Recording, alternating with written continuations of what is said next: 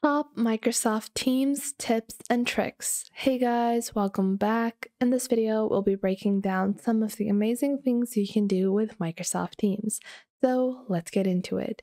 Now, one thing a lot of people don't even realize is that Microsoft Teams is not something that is only limited to doing a video call or video conference.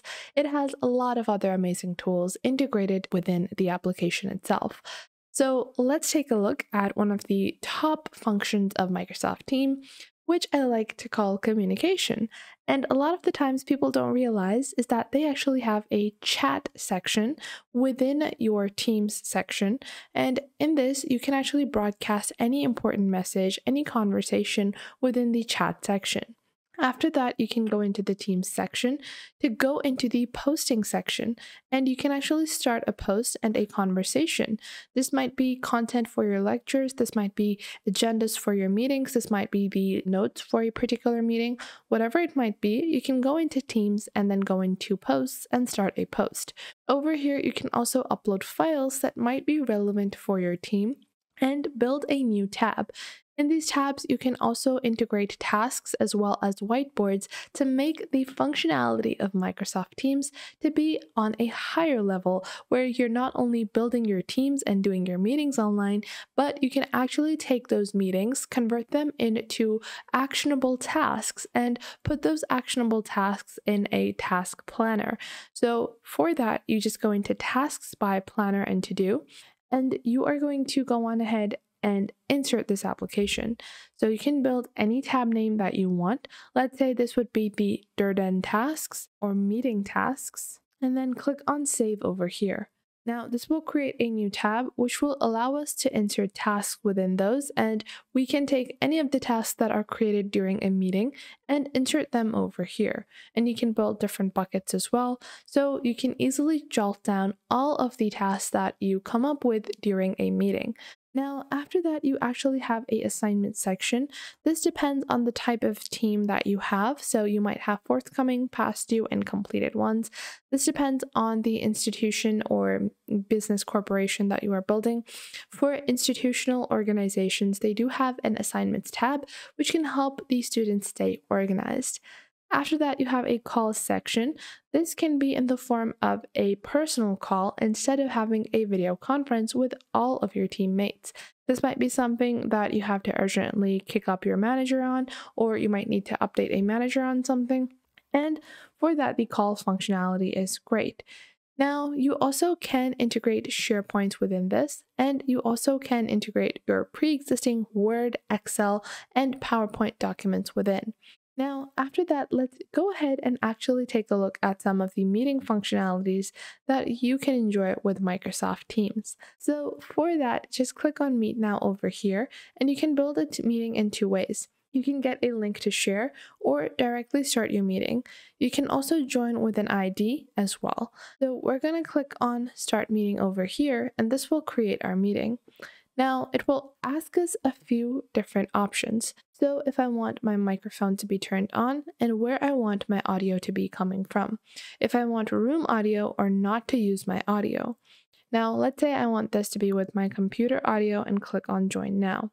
Now, once you do that, you can invite people to join you via a link, participants, or you can add them manually, or you can share it via email.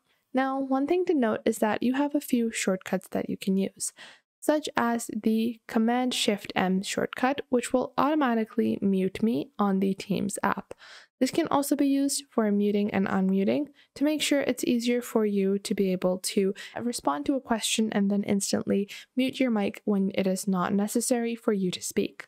Now, on your top left, you will have the meeting minutes, which basically means how long this meeting has been going on.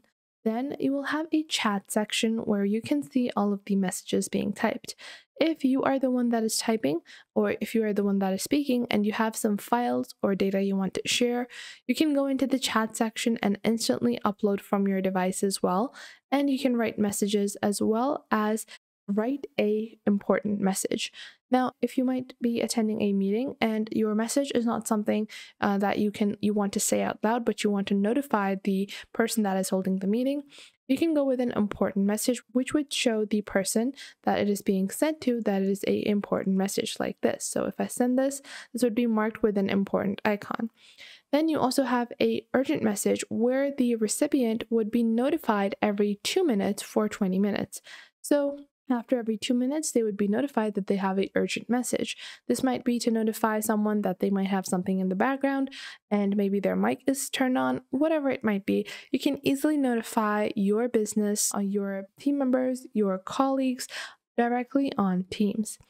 Now, after that, you also have integrations with cloud components as well as loop components where you can go directly in through the loop components and you can build bulleted lists, checklists, numbered lists, paragraph, progress trackers, Q&As, tables, and voting tables. Voting tables are a great functionality that can help you in deciding things during a meeting.